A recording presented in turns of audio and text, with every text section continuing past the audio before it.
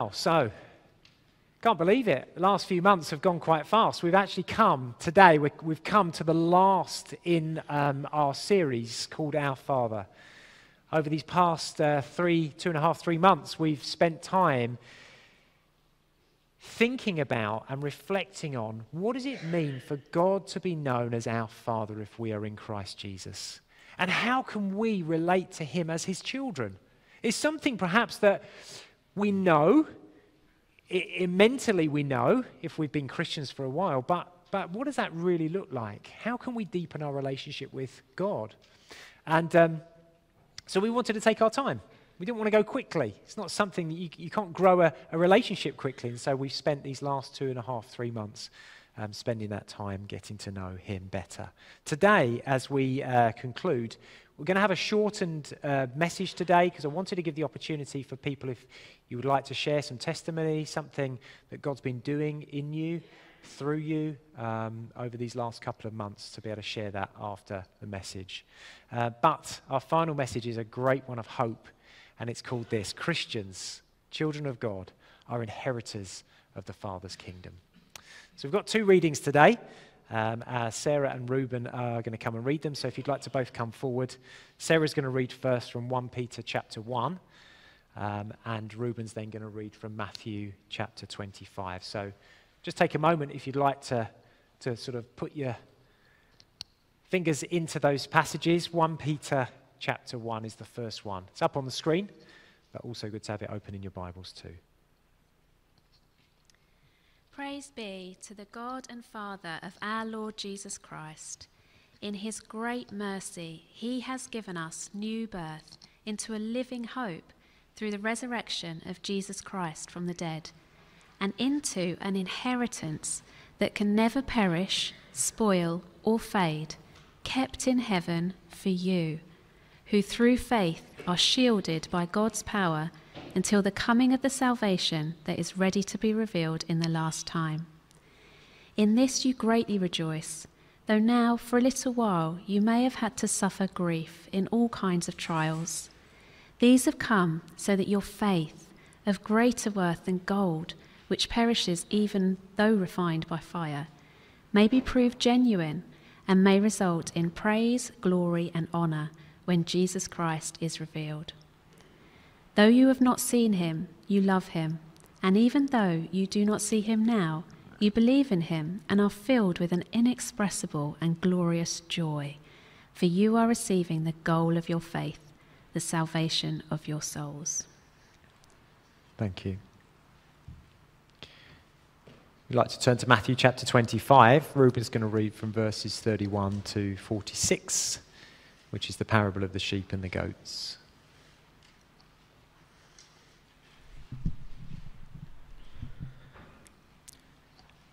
When the Son of Man comes in his glory, and the angels with him, he will sit on his glorious throne. All the nations will be gathered before him, and he will separate the people one from another, as a shepherd separates the sheep from the goats. He will put the sheep on his right, and the goats on his left. The king will say to those on his right, Come, you who are blessed by my Father, take your inheritance the kingdom prepared for you since the creation of the world. For I was hungry, and you gave me something to eat. I was thirsty, and you gave me something to drink. I was a stranger, and you invited me in. I needed clothes, and you clothed me. I was sick, and you looked after me. I was in prison, and you came to visit me. Then the righteous will answer him, Lord, when did we see you hungry and feed you, or thirsty and give you something to drink? When did we see you a stranger and invite you in, or needing clothes and clothe you? When did we see you sick or in prison and go to visit you? The king will reply, Truly I tell you, whenever you did these for the least of these brothers and sisters of mine, you did for me. Then he will say to those on his left, Depart from me, you who are cursed into the eternal fire prepared for the devil and his angels. For I was hungry, and you gave me nothing to eat. I was thirsty, and you gave me nothing to drink. I was a stranger, and you did not invite me in. I needed clothes, and you did not clothe me. I was sick and in prison, and you did not look after me. They will answer, Lord, When did we see you hungry or thirsty, or a stranger in need of clothes, or sick and in prison, and did not help you? He will reply, Truly I tell you, whenever you did not do these things for one of the one of the least of these, you did not do for me. Then they will go away to eternal punishment, but the righteous to eternal life. Lovely. Thank you very much. So just uh, yeah, just keep keep those two passages in hand, and um, we have we have three very brief headings today. And the three headings are this: true inheritance, true children, and true joy. So let me pray for God to open our ears and our hearts to hear from Him. Lord, we just pray that what you want to say to us today um, would be heard not just with our ears, but, but with, with our hearts, that we'd be open to you, be open to your spirit, convicting us, prompting us, assuring us, helping us, and growing us. We thank you, Lord, that you have a word for each one of us today. And so we ask that we would yield our, our lives over to you, that you would have your way, your kingdom come, your will be done in our lives as you wish. In Jesus' name, Amen. True inheritance. When, um, when I was going to propose to Sarah, uh, I needed a ring. And uh, I wondered, what, what am I going to do? How am I going to propose? I need a ring. I was talking, talking with my parents, and my, my dad said, he said, Ah, I've got a ring when, he, when one of his aunts died, he inherited a few things from her, including a particular ring. This isn't, this isn't the ring, this is a, a picture I found because we don't have the ring anymore. But he, had, he had inherited from her uh, a nine stone cluster diamond platinum ring. It was quite a chunky thing, right? And he said, he said, have the ring because um, you can propose with the ring, but if it's not quite what she likes, then sell the ring and then buy her the ring that she'd like. So I thought, great. And he said one more thing. He said the ring has got a insurance replacement value of £3,000. And my eyes lit up. 3,000?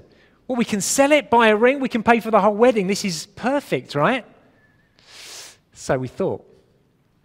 So we took the ring along to, to try and uh, see where we could sell it. Took it into a jeweler's. The jeweler said, Well, we need to show it to a trader first. Leave it with us for a week and come back.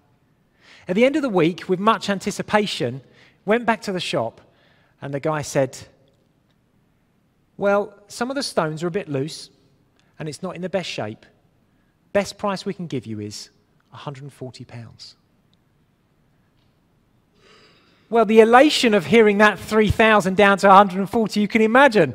My chin was on the floor. We thought, this is ridiculous. We're going to get a second opinion. And actually, when we, when we looked at our options, we thought, let's auction it. Someone out there is going to want this ring. Someone is prepared to pay the price that we think it's worth. So we took it to an auctioneer's, and they put um, a, a sort of a reserve price on it. We had it put in the brochure. And we thought, should we go along and sort of see what happens? And we did. Did you come with me? Or was it just me that went? Can you remember? Can't remember. Anyway, I, I definitely went along. So I thought, right, here, the money's going to come in. 3,000. It's worth 3,000 pounds. Someone's going to see the value of it. Sat there. You've got people bidding, but not a lot. Do you know what it sold for? 350 pounds minus fees, which in the end took it to less than 10% of the value that we thought we might get originally. Of course, an insurance value or a replacement value isn't necessarily the value that someone is prepared to pay for it. And that brings us to the whole topic of our inheritance. Because the things of the world often shout out to us, don't they? They either shout or they whisper to us of, of great things. The world tells us this is going to make you, this is going to, um, uh, to, to give you all that your heart's desired. By the way, we, we did still manage to get Sarah a really nice ring, and we still had enough for the wedding. God provided for us. But the point of this, The point of this illustration is that the world can often promise so much, and yet it can so often disappoint. Because so much of the world cannot meet the deepest desires and needs of our hearts. But I want us just to, to, to, to, go back to the passage that we read from 1 Peter to show the contrast that God tells us between the inheritance that He promises us in Christ and what the world offers us. Look at these words 1 Peter 1, verse 3. Peter says this Praise be to the God and Father of our Lord Jesus Christ. In His great mercy, He has given us new birth into a living hope through the resurrection of Jesus Christ from the dead and into an inheritance that can never perish, spoil, or fade. This inheritance is kept in heaven for you. Praise our merciful Father. Because the God who made us knows that what our hearts need more than anything else is Himself. Through Jesus' death and resurrection, we have received forgiveness from our sin, we've received new life in Christ, and we've received a welcome into God's family. That is what every heart is searching for and yet gets waylaid or sidetracked or lured in by the world for other things, and many people don't find it. But praise God for His mercy. That if you are a Christian today, if you're a believer in Jesus, God has opened your eyes and God has opened your heart to receive the one thing that can never be taken away from you, the one thing that you need Him. And it's why we stand here every week and we say, if you do not know Jesus yet, if you have heard the gospel, the good news that Jesus died for your sin and has won for you freedom and forgiveness, if you don't know him, you may have heard the gospel many times. And when we say, listen with your hearts, not just your ears, it goes in and it, it goes off again. We say, turn to Jesus today because you can receive the gift. You can receive the inheritance, the true inheritance that we're going to be bigging up today and that true Christians can enjoy forever. So it's good news, isn't it? Because if you're members, if we, if you are members of God's household, then you get to enjoy all of the family blessings, the family blessings that are there for every child of God. What are they? In this series, we've talked about them time and time again. We've talked about the perfect love of God that you receive.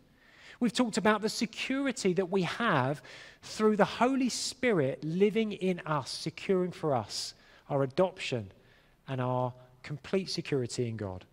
We've talked about the Father's faithfulness to us in every way. He's the most faithful parent we can ever have. That God provides for our every need. He knows what we need before we even ask. But He loves for His children to come and ask and talk to Him. We know that the God um, uh, disciplines us. We, we thought about that a couple of weeks ago. He disciplines us. Why? To bring us up into His holiness. He wants to share the very best with us, He wants to share the best of who He is. And He wants us to be more like Him. That's what God's plan is. And uh, a couple of weeks ago, we thought about how He shapes us. Was it last week? He shapes us in such a way that as we grow and copy Him, we just become more like the perfect Son, Jesus. And He's conforming us into His image. God has the very best for us. And you get to enjoy, and we get to enjoy all the family blessings if we've turned to Christ and we're in the family of God. The promise of our inheritance is such a great one. Isn't it a great one? Because if Jesus, the perfect Son, has overcome death, if he has, if that is true, then nothing is too big for God. And the one thing that he offers us can never be taken away. This, this last line here, the inheritance that can never perish, spoil, or fade, is a true promise from God. People promise us stuff all the time. But God is trustworthy because Jesus has risen, He is alive, and He says what He has is waiting for you. So people worry. We worry about all sorts of things. We can worry about our income. We can worry about our houses. We worry about our investments, our savings, our pensions, our potential inheritance. And we can worry about all those things because none of them are secure. But what is secure is this what Jesus has won for you will never, ever fade, will never spoil, will never run out, will never be taken away from you if you're in Christ. And God is the one who promises that to you. Well, he says what's waiting for us will blow our minds. And so I want you to stay with me today. Do you remember the story of the prodigal son um, that we looked at earlier in our series? The problem he got wrong is, is this he wanted his inheritance now. So he went to the father and demanded that the father give him everything that he was owed. But in doing so, he missed out. He missed the very point of what it meant to have the inheritance in the first place being in the family. The son took everything he could from the father, but he rejected the father. He wanted those good things, but he didn't realize that the real blessing came from being within the family. And it wasn't until everything ran out for the son that he realized the mistake he'd made. The emptiness of taking the stuff and yet realizing that the relationship was what it was all about in the first place. And when he returned back to the Father, and the Father welcomed him back with joy and forgiveness, as God does, the Son then was able to enjoy the family blessings of the family estate. And so it is with us and God. We, we live in the world, and God has richly blessed us with all sorts of things. But we can take the good things of God and keep them for ourselves and say that we don't really want to know God for ourselves. And so we miss out on the very thing that He wants for us more than anything. And isn't God merciful? Isn't God merciful and forgiving and kind and patient with us? That when we return, when we realize what it's all about, in the end, when our resources run out, when all the things that we thought we put our hope in don't fulfill us, God says, I'm still here. I'm still here. Maybe that's you today. Maybe you've been chasing after things in the world. And God's saying, please return. Return to me. Because what you find in me is worth more than anything that you're chasing after. The pagans chase after those things. But your Heavenly Father knows what you really need. Our true inheritance is Him. What about being true children? The Bible has various descriptions and images of God's radical transformation, what He does in our lives when we come to Christ. Think of some of these contrasts. The contrast, a bit like the prodigal son story, the contrast of being lost and then found, or the contrast of being dead but being made alive. But also, we have this contrast of being slaves but then being adopted. That last image uh, talks about, it describes who we belong to. The slave belongs to a master, but the slave, the, the bad news for the slave is that the slave is in bondage. The Bible talks in various ways about being a slave. You could be a slave to fear, or you're a slave to sin. Outside of Christ, you cannot stop yourself from sinning because you're not with God. But what's the difference? Is that when we come to Jesus, we're, we're, not, a, we're not a slave anymore. No, we're a child. We've been adopted. A child belongs to parents. A child in the Bible belongs to a father. And the difference is rather than being in bondage, the child is completely secure, loved, secure, wanted, valued, nurtured. And so we become children of God. Don't know if you're into your Christmas ads, you're picking up on the adverts. The John Lewis um, Christmas advert is the one that sort of so many people anticipate every year. Have you seen it yet? Is it out yet? I've seen, a, I've seen it myself um, as a preview. And uh, you've, got this, you've got this guy, this middle aged man. This is how the first sort of minute of the uh, advert goes. This middle aged man learning to skateboard. And uh, he, he's falling off his skateboard. He's having bumps. And you think, what is this? One, what's this got to do with Christmas? And two, what is the purpose of this message? What's going on? What's the message behind this? And it's not until towards the end of the, the advert that we begin to see what's going on. The man and his wife are preparing to welcome in a teenage girl, I think it's to, to be fostered, into their household. And they'd known through, through meeting her before that she was into skateboarding. And so this middle aged man is out on the streets practicing his skateboard, learning, prepared to fall over and embarrass himself because he wanted to welcome the girl in to his home to show that she was valued, to show that he was taking an interest in what she cared about so that she could feel comfortable and loved and known. Doesn't this image our Father so much? When you think about the love of God, what do you think? Do we sometimes think that the love of God is a general love? Oh, yeah, God loves the world. He loves the world in a general sense. Or do you think that God loves you? He loves you. He's a personal God. He knows you. He made you. And He knows everything about you. And He meets you exactly where you are. He knows your hopes, your fears, your likes, your dreams, the things that are frustrating you, your hurts, your wounds. God knows everything. And He is a Father that meets us where we are and He welcomes us in. Isn't that a great God? Isn't he a great God? Look at what Paul says in the New Testament in Galatians about what God's like. He says, Because you are his sons, son in the Bible, the, the, the, the, prominence of the firstborn son inheriting, yeah, but it's children, of course, for us. Because you are his sons, God sent the spirit of his son into our hearts, the spirit who calls out, Abba, Father. So you are no longer a slave but God's child. And since you are his child, God has made you an heir.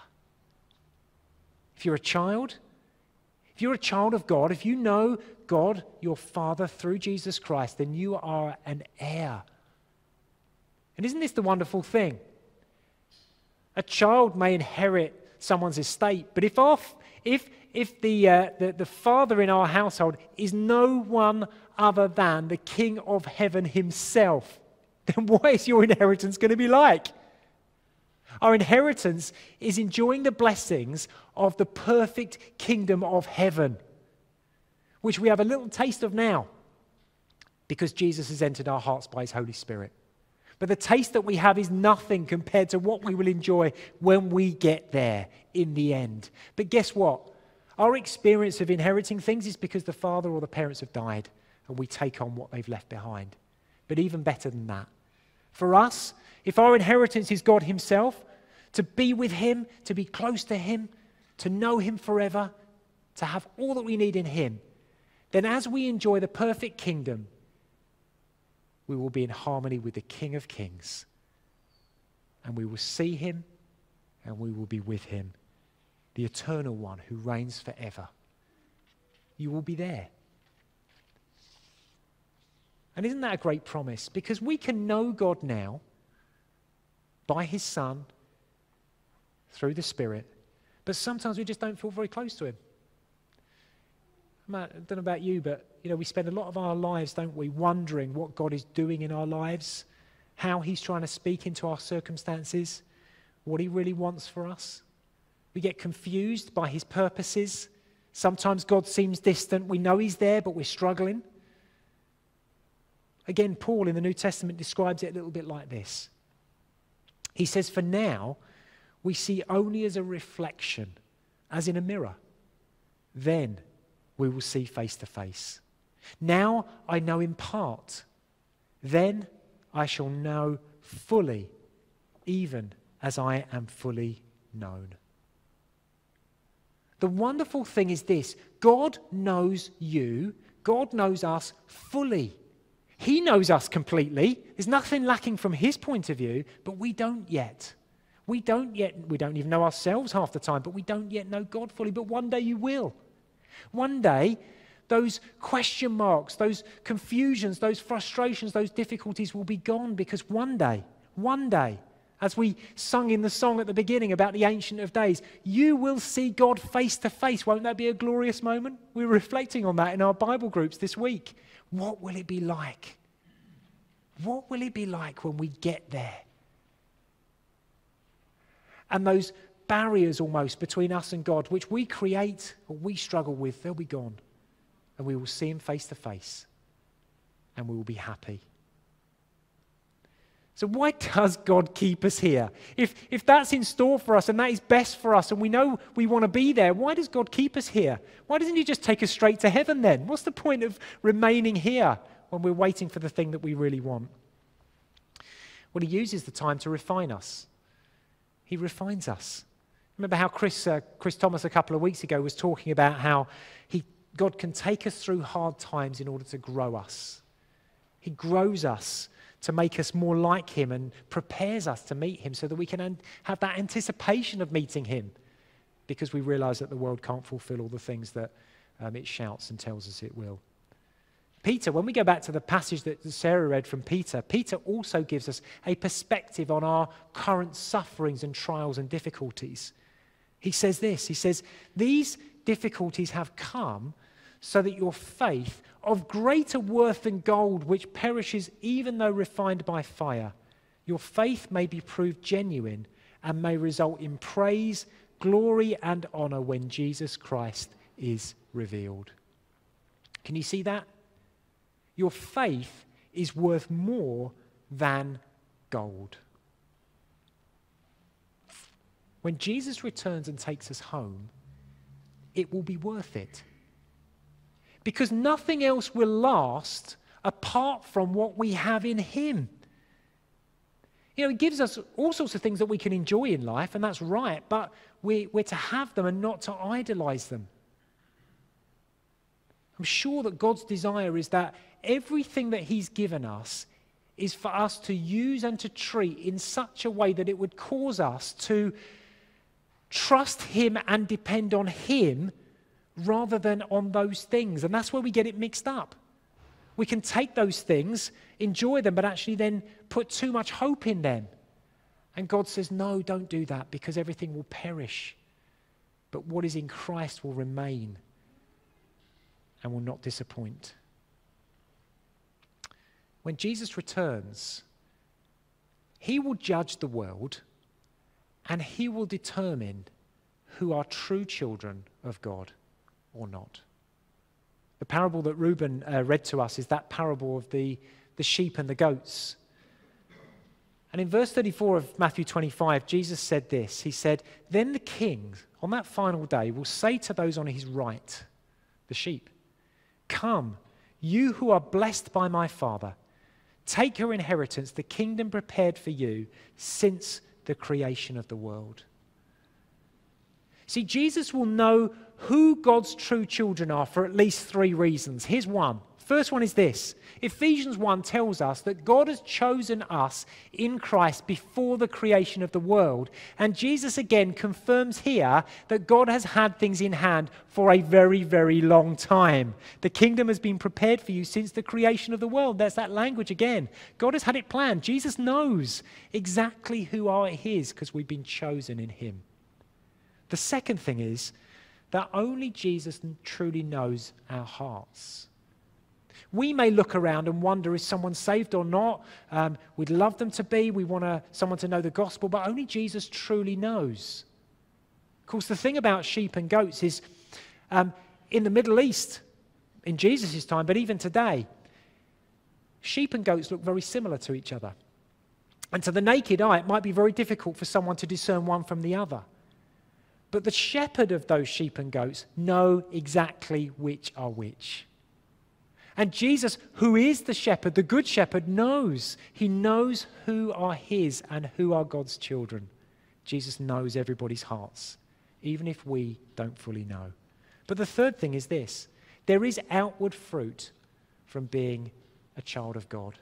Our lives will be changed, our lives will look different as we trust in Jesus more and more. Last week we spoke about how, as we trust in Jesus, we seek to copy our Father's example. We seek to, to live out um, the character of God in, his life, in, in our lives. He shapes us more and more to look like Him as we give our lives back in thankful, willing, and humble sacrifice. And Jesus' parable of the sheep and the goats talks about how the way that Christians love and care for those in need is a significant sign to show whether we are God's true children or not. See where Jesus said this He said, Whatever you did for the least of one of these brothers and sisters of mine, you did for me. One of my brothers and sisters, Jesus is saying, what he means by that is someone else in the family. Who are the family? Who is the family of God? fellow believers, the church. So, how we care for each other as church is a big sign in showing our likeness in Christ and being shown as children of God.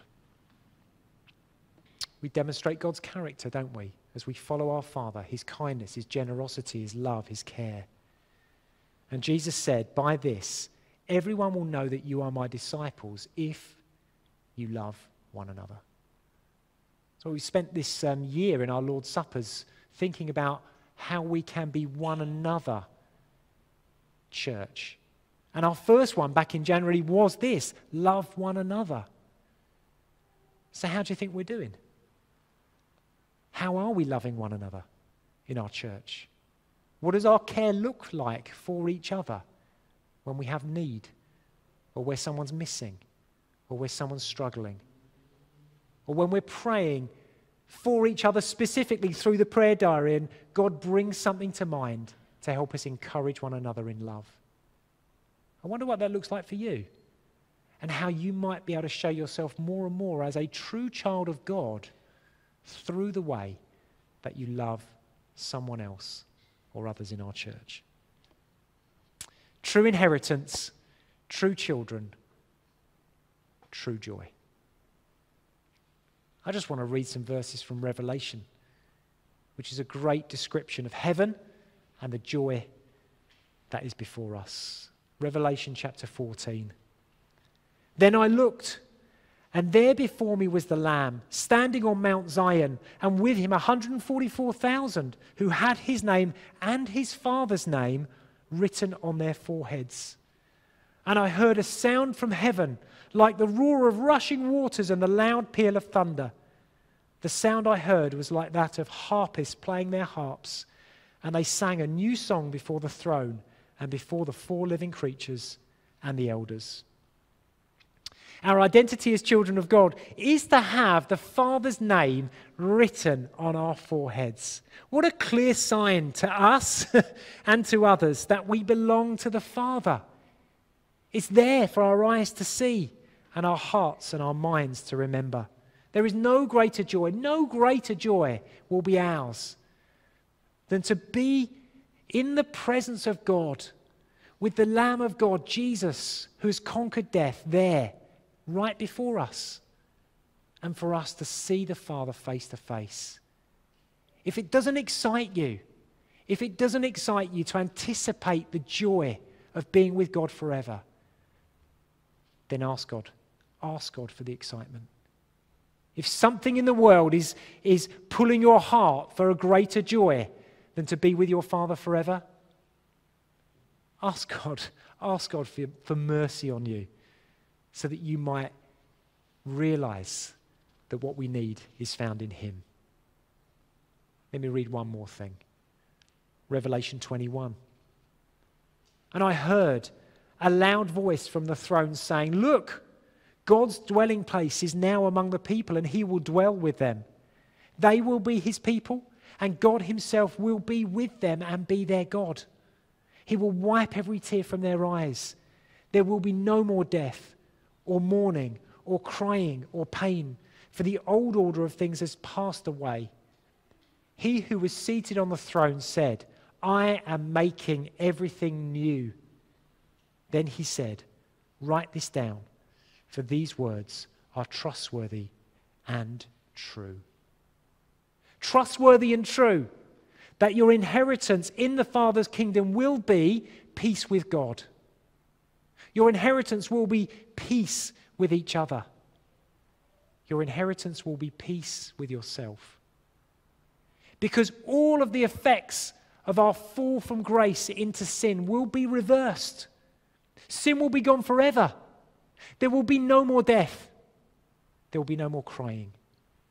There will be no more pain. So each day, each day, why not remind yourself? You can say it out loud if you want, if it helps.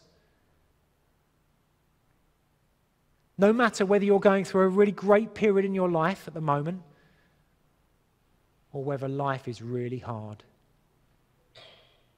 Whether today is a good day or today is a tough day. these are the words that you can say. The best is yet to come. C.S. Lewis put it like this There are far, far better things ahead than any we leave behind. It's why Jesus told his disciples not to let their hearts be troubled. Why? Because his Father's room has many rooms. Jesus is there now preparing a place for us. He said to his disciples then, I'm going there. That's where he is. He's there preparing a place. And he will return to take us to be with him forever. The kingdom awaits. It's your inheritance and mine. Let's pray.